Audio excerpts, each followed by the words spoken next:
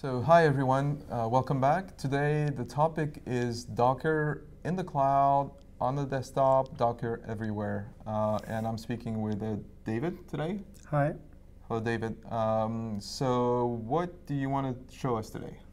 What I'd like to show you is uh, how easy to, it is to, um, to package a Java 8 application, web application, on your laptop with Docker and use this package application to deploy it on the cloud platform.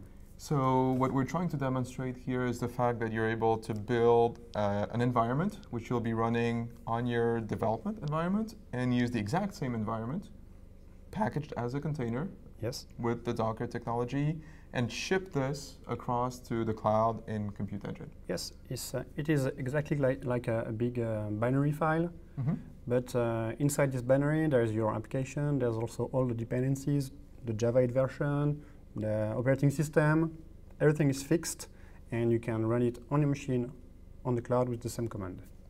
Sounds uh, sounds promising. I think uh, it's it's quite useful. Why is it actually useful to have the same environment across? Yeah, you know, it works on my machine. Uh, yeah. It doesn't work uh, on production. It works on my machine. So this is uh, one of the reasons why Docker is very useful. Uh, you can reproduce exactly the same environment on your machine than on production. it's especially very important in if uh, on production you've got multiple servers, load balancer, uh, different uh, components, so you can uh, uh, reproduce exactly the same environment on your machine with different containers. Uh, you could do it with VMs, mm but then on your machine you would run lots of VMs. It would be very, it would be too much for your machine. With containers, it's very lightweight, very easy. Okay, let's get going and uh, let's look at the demo you have for uh, Okay, for so I've prepared a very small project uh, with a single file called Dockerfile.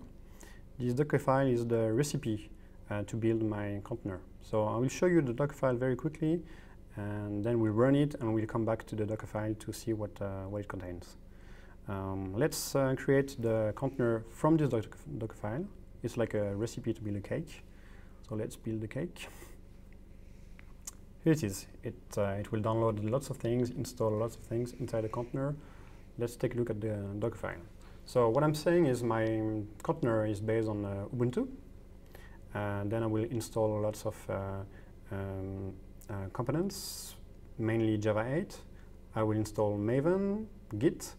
Then I will clone uh, the source code of my project, build it inside the container to be sure that the build is easy to reproduce. And what is very important is at the end uh, of the, the build, uh, I've got a classical Maven clean install, install. And here's the command that uh, the container will run. So classical Java application. So it is definitely a recipe. You yes. are uh, building everything from zero. So hopefully the recipe will always produce the same cake. Yes, not always. In fact, uh, uh, if I run the same recipe in two weeks, uh, the version of each component might change. So I could fix the, the versions inside my recipe. Uh, but then um, at the end of the day, Docker is not really uh, based on you running the same recipe again and again. You run the recipe once, and then you've got a binary that you can uh, run on your machine or run on uh, another machine. And there are ways to share this with uh, different people if you, you know, yes. even a common repository for people to use. Exactly, you can, it's like a binary, so you can copy it or you can publish it in uh, public or private rep, uh, repositories. Um, there's lots of ways to share uh, containers, uh, container images. what we will do is we will use the recipe to build locally and build on the cloud platform it's not the thing that you will do uh, normally, but uh, it's just to show you that it's the same locally and on the cloud platform. Great. So uh, it takes uh, a few minutes to build uh, locally on the laptop, so we'll just skip ahead and get to a point where uh, we're about to finish the build. Yes. So here we are. We're running the last, the, the last Maven build. And at the end, we will, uh, it will produce uh, the jar files that we need. And we will be able to launch uh, the container and to see if the application runs properly. Great. So uh, tests are going, and as soon as the test pass, I suppose Zero you test. have uh, no tests. Wait. oh, it's not me. yes, here it is. So build success, and then the container is ready. What I wanted to show you said, uh, can we uh, use the same recipe to build uh, uh, a container twice? Docker uses a cache to make sure that if on the same machine you build from the same recipe, it will use the cache again and again so that you don't run all the steps of your recipe again and again. So if you change uh, uh, an operation at the end of your recipe, it will reuse the cache for all the operations before that change. So let's try to run our container. Uh, what we are going to do to ask for the version of Java inside the container. Just so to make sure we, are yes. using the right one, that's one thing you can try yes, to check. to make sure that uh, it works properly. So we saw the Docker build operation, so now we're going to use the Docker run. So we run the same container uh, with a command, java uh, dash version, and we see that we've got uh, Java 8 installed inside the container. If I run the same command on my machine, I've got only Java 7. So this is to show you that you can use different versions for... Yeah, they're completely isolated. Yes, completely. So now we can try to run the, the real application uh, by let it, letting the container uh, use the default command. And uh, here it is. Our website is running, yeah. So you built all of this locally and you have something that's working. So yes. now we can ship it that's yes. probably the, the best way to describe it to before, the cloud. Yes. Just before, let's try to, uh, to open it into uh, a browser to make sure that it works properly. So we're going to run the, the container. Oh, what I'm, what's going on is I've got uh, other uh, containers running on the same port. So I'm going to delete all my running containers. It's like um, deleting uh, running processes. I just kill them and then uh, run my process again and um, and now it's running uh, as a daemon in the background. So I will open the and the URL and see that uh, the, city, the site is uh, running uh, properly. Yes, that's Perfect. great. Perfect. So as you say now, let's let's ship it. So we're going to ship it on um, to deploy it on Google uh, Compute Engine. Uh, so we're going to open the Google Compute Engine console and we're going to create um, a VM uh, on which we're going to install Docker, and then we're going to build the same uh, container from the same recipe. So we're really starting from scratch? Yes, Just from scratch. Choose the name, allow HTTP traffic, choose a zone of our VM.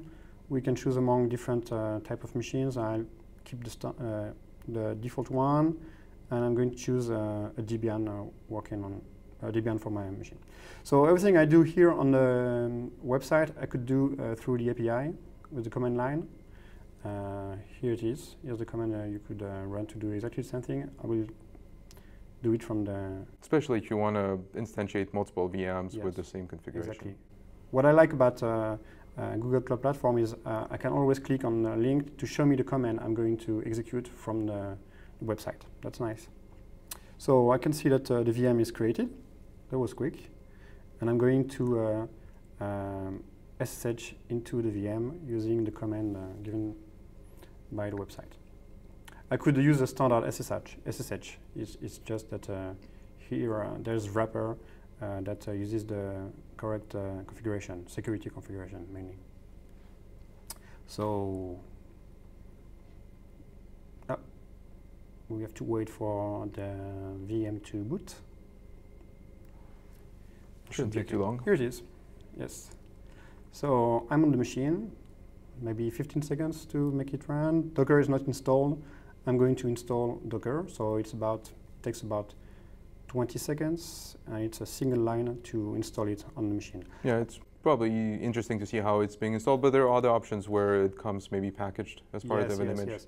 I could package it myself, so I can install it on a Google base image and create a new image or I could use the images uh, provided by Google uh, that uh, are, that already uh, have Docker installed.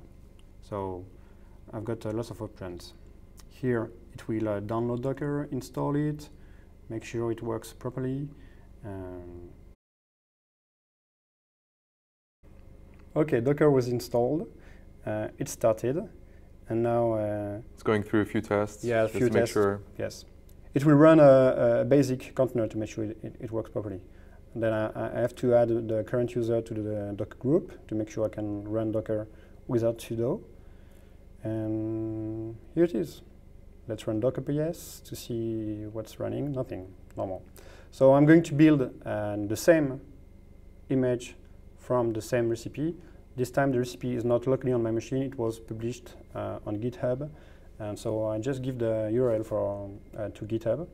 And the Docker file will be downloaded and used uh, to build a, a container. And so I will see the exact same step as on my local machine. It will download Ubuntu, install Java 8, etc., etc., build uh, the application, and it will be ready to run. Yeah, so maybe a little bit faster because the network is somewhat faster, but other than Yes. that, it's uh, very similar. So Yes, we'll yeah. skip ahead and, and get to the point where it's almost uh, ready to, to finish building. Sure.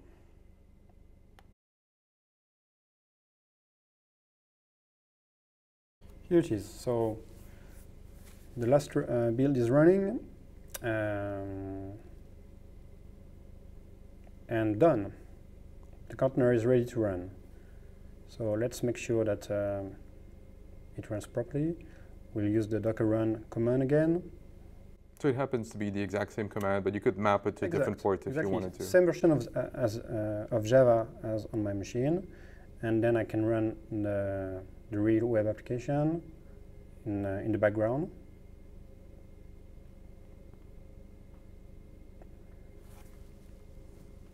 Done, and I can check that everything is uh, running properly by uh, opening uh, the the IP of my VM, and it works.